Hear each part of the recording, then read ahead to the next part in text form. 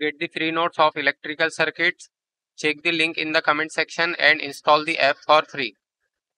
Source transformation question find the current through 30 ohm resistor. Here in this circuit we have to find the current through this 30 ohm by using source transformation technique. Solution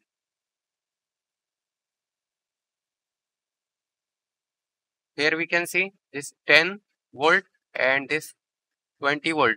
These are connected in series with 20 ohm and 10 ohm respectively. So now we will convert them into its equivalent current source. So let's convert them into its equivalent current source.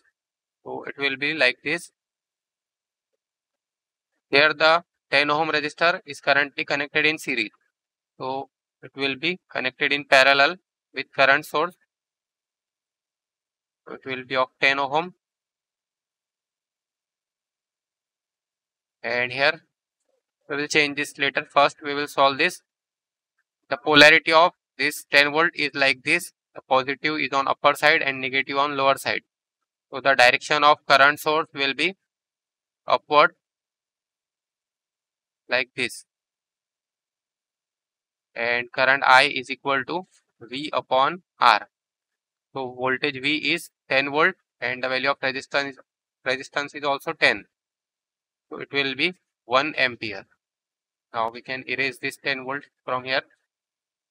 Now similarly for this, this 20 ohm will be in parallel.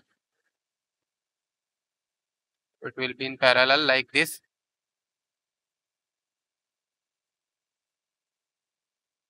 Twenty ohm, and now this voltage source will be converted into current source, and the direction of current source will be upward because here it is positive and here it is negative.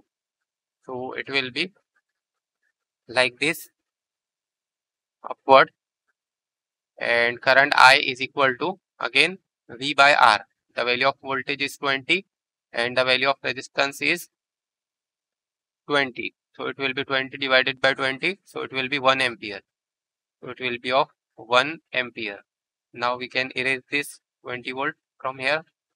Now here we can see this 1 ampere and this 1 ampere are connected in parallel. So they will get added. It will be like this. Then we will copy this and again to draw this. Let's erase this calculation from here and only write 1 ampere 1 ampere. Now this 1 ampere and 1 ampere are connected in parallel. So it will be 1 plus 1 2 ampere. Now we can erase this from here. Since the direction of both the current was same, so that's why we are adding. Then here we can see this 20 ohm and this 10 ohm are connected in parallel. We will keep this 30 ohm as it is and we will solve only for 20 ohm parallel with 20 ohm parallel with 10 ohm. So it will be 20 multiplied by 10 divided by 20 plus 10. So it will be 20 into 10 divided by 20 plus 10. So it is 6.6, 6.6 ohm since it is resistance so its unit will be ohm. So let's erase this from here